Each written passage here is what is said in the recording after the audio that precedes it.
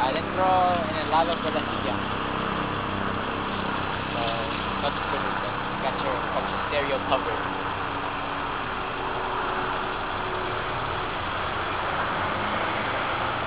Ah.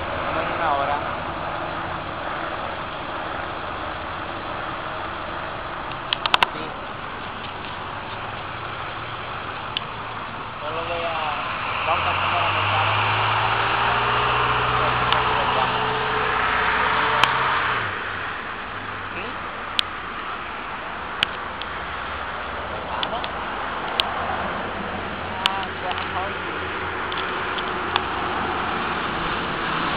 Que conmigo este.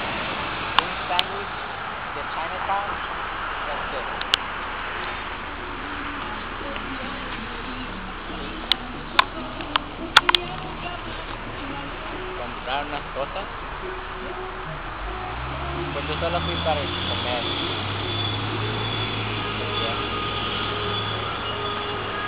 Bien. Iván. Sí. Ahora es manager.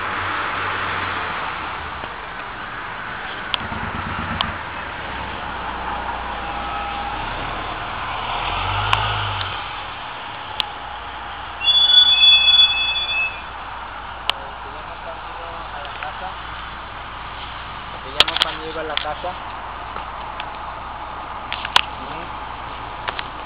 Va a estar ahí.